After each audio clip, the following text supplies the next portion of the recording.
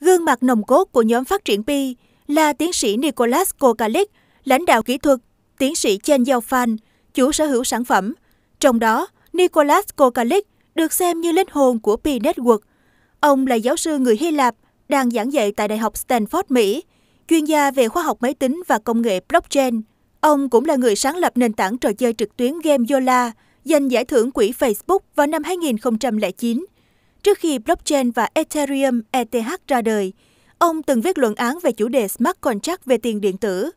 Vitalis Buterin, người tạo ra tiền ảo ETH, chính là học trò của Nicholas Kokalik. Bên cạnh những hoạt động chuyên môn, Nicholas Kokalik còn là CTO của StarX, quỹ hỗ trợ sinh viên Stanford khởi nghiệp kinh doanh.